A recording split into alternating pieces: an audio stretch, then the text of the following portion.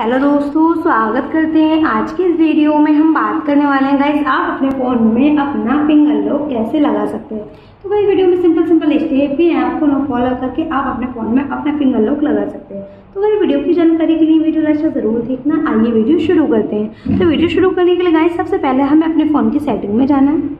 Setting में जाने के बाद आपको इस तरीके का इंटरफेस देखने को मिल जाता है। तो हमारा गाइस एक ऑप्शन है सिक्योरिटी तो हमें उस पर क्लिक कर देना। क्लिक करने के बाद आपको नीचे कई ऑप्शन देखने को मिल जाते हैं, जैसे कि screen lock finger lock and face lock तो गाइस हम अपने फ़ोन में अपना फिंगर लॉक लगाना चाहते हैं। उसके लिए हमें फिंगरप्रिंट पर क्लिक करना होगा और अपना पासवर्ड डाल देना और जो आपने पहले से डाल रखा है। और यहाँ पर आपको नेक्स्ट का ऑप्शन देखने को मिल जाता है तो इसे नेक्स्ट कर देना और अपना यहाँ पर फिंगर लगाना है। तो गाइस जब तक हमारा फिंगर पूरा नहीं लगता, जब तक हमें लगाना है रिमूव करना है, कई बार लगाना कई बार रिमूव करना है, जब तक हमारा फिंगर पूरा नहीं लगता। तो इसी तरीके से हम पूरा फिंगर हमारा लग चुका है गाइस और हमें ऑप्शन देखने को मिल जाता है डन तो हम यहाँ पर इसे डन कर देते हैं।